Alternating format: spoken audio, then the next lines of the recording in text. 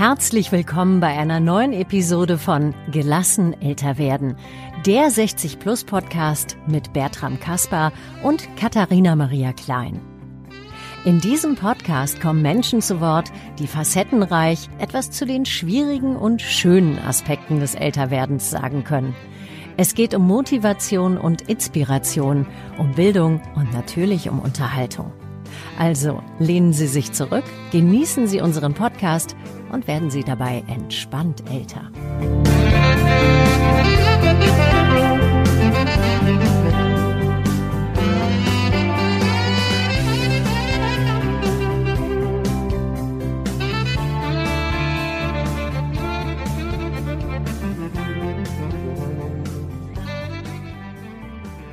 Auch von mir gibt es dieses Jahr einen Weihnachtsgruß. Diesen Weihnachtsgruß oder Wintergruß möchte ich zum einen an all diejenigen Menschen richten, die mich dieses Jahr begleitet und unterstützt haben und zweitens natürlich an alle Hörer und Hörerinnen des Podcasts Gelassen älter werden und einen herzlichen Dank für das ja, herzliche Willkommen heißen auch von mir im Podcast. Vielen Dank. Da das für mich das erste Mal ist, dass ich diese Art von Weihnachtsgruß in die Welt schicke, habe ich mir etwas ganz Besonderes überlegt.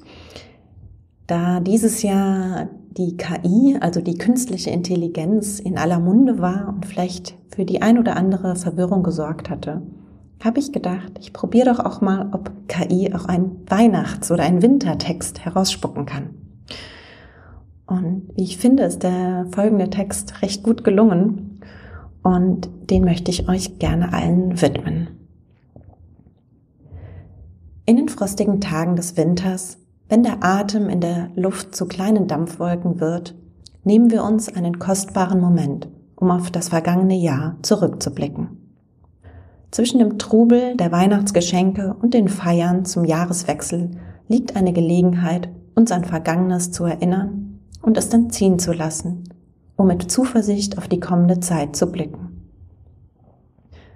Der Winter ist mehr als eine Jahreszeit. Er ist eine poetische Erinnerung, dass nicht immer alles blüht und gedeiht. Die Blätter fallen und es wird kalt. Ähnlich verläuft unser Leben. Nicht jeder Tag ist von strahlendem Sonnenschein gekennzeichnet. Doch wenn wir genau hinschauen, können wir sehen, dass selbst in den grauen Momenten etwas zu finden ist, das uns wärmt. Weihnachten, dieses Fest der Lichter, ist weit mehr als Glühwein und Lichterketten. Es ist eine Zeit, sich daran zu erinnern, dass die kostbarsten Geschenke oft nicht in buntes Papier eingewickelt werden können. Es sind die schönen Erinnerungen, das herzliche Lachen mit den lieben Menschen um uns herum, der vertraute Duft von selbstgebackenen Plätzchen oder die Weihnachtsmusik im Radio. Kleine Dinge, die das Herz berühren und wärmen. Das vergangene Jahr mag nicht perfekt gewesen sein, doch in den kleinen Erfolgen und Lehren steckt oft mehr, als wir zunächst sehen. Jede Herausforderung hat uns geformt und gestärkt. Und auch wenn wir uns manchmal in den Nebeln der Unsicherheit verloren fühlten, haben wir unseren Weg gefunden. Beim Blick in das neue Jahr können wir die großen Versprechen für einen Moment beiseite lassen und uns auf die kleinen Schritte konzentrieren, die wir tun können. Vielleicht liegt in der Einfachheit und Nüchternheit des Winters die Kraft für einen klaren Blick auf das, was wirklich von Bedeutung ist. Möge der Winter uns daran erinnern, dass das Leben nicht immer grell und bunt ist, aber gerade in seiner Einfachheit und Ruhe einen ganz besonderen Reiz birgt. Die klirrende Kälte und die klaren Nächte lassen uns die Schönheit der Stille entdecken, die uns oft im Trubel des Alltags entgeht. Wenn wir uns von der Vergangenheit verabschieden, öffnen wir Raum für neue Chancen und unentdeckte Möglichkeiten. Jeder Augenblick, den wir bewusst erleben, ist ein Schritt in die Zukunft.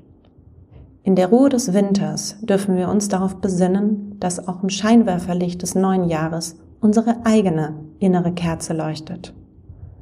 Vielleicht ist es gerade die Unvollkommenheit des vergangenen Jahres, die uns menschlich macht und uns lehrt, dass es nicht immer darum geht, perfekt zu sein, sondern authentisch.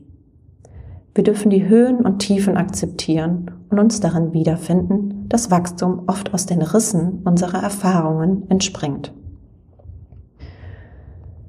Beim Betrachten des leeren Blattes, das das neue Jahr symbolisiert, dürfen wir uns bewusst sein, dass wir die Autoren und Autorinnen unserer eigenen Geschichte sind.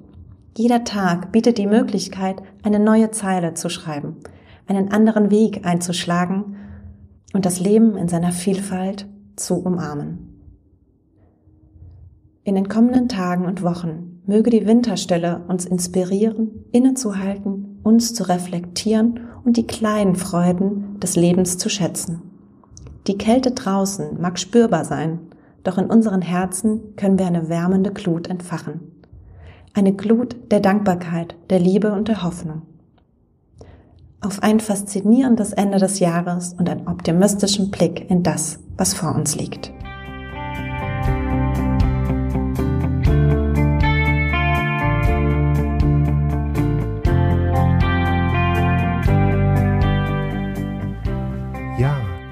ihr lieben Wegbegleiterinnen und Wegbegleiter. Diesmal ein etwas anderer Weihnachtsgruß. Einer, der für einen Podcaster eigentlich naheliegt. Ja, und deshalb nehme ich euch einen Audio-Weihnachtsgruß auf. Euch und euren Familien euren Liebsten wünsche ich gesegnete Weihnachten und ich wünsche euch ein gesundes, erfolgreiches neues Jahr.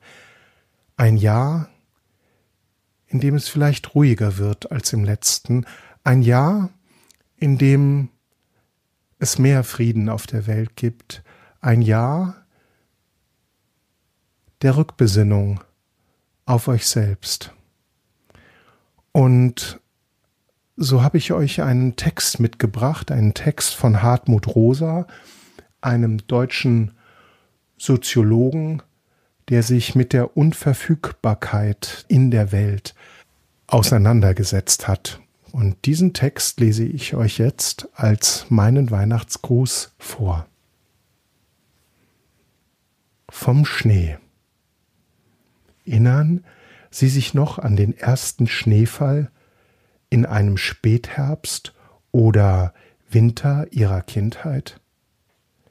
Es war wie der Einbruch einer anderen Realität, etwas Scheues, Seltenes, das uns besuchen kommt, das sich herabsenkt und die Welt um uns herum verwandelt, ohne unser Zutun, als unerwartetes Geschenk.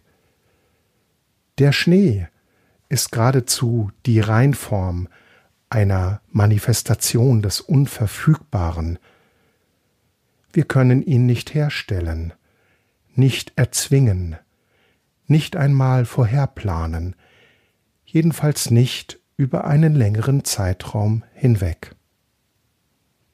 Und mehr noch, wir können des Schnees nicht habhaft werden, ihn uns nicht aneignen. Wenn wir ihn in die Hand nehmen, zerrinnt er uns zwischen den Fingern, wenn wir ihn ins Haus holen, fließt er davon, und wenn wir ihn in die Tiefkultur packen, hört er auf, Schnee zu sein. Vielleicht sehnen sich deshalb so viele Menschen, nicht nur Kinder, nach ihm vor allem vor Weihnachten. Viele Wochen im Voraus werden die Meteorologen bestürmt und bekniet. Wird es dieses Jahr weiß? Wie stehen die Chancen? Und natürlich fehlt es nicht an Versuchen, Schnee verfügbar zu machen. In unserem Verhältnis zum Schnee spiegelt sich das Drama des modernen Weltverhältnisses wie in einer Kristallkugel. Das kulturelle Antriebsmoment jener Lebensform, die wir modern nennen, ist die Vorstellung, der Wunsch und das Begehren, Welt verfügbar zu machen. Lebendigkeit, Berührung und wirkliche Erfahrung aber entstehen aus der Begegnung mit dem Unverfügbaren. Ja, und so wünsche ich euch viele Begegnungen mit dem Unverfügbaren. Seid herzlich gegrüßt, euer Bertram. Herzlichen Dank fürs Zuhören. Das war's heute auch schon mit dem Hörmagazin für Menschen in der dritten Lebensphase. Wenn es Ihnen gefallen hat, abonnieren Sie gerne unseren Podcast.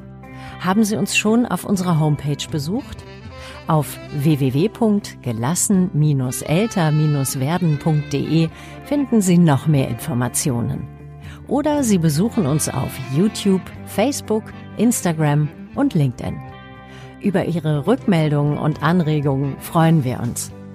Und empfehlen Sie uns gerne weiter, denn welcher Best-Ager möchte nicht inspiriert und gelassen älter werden? Bleiben Sie gesund und allzeit entspannt. Bis zum nächsten Mal, sagt Ihre Katharina Maria Klein und Ihr Bertram Kasper.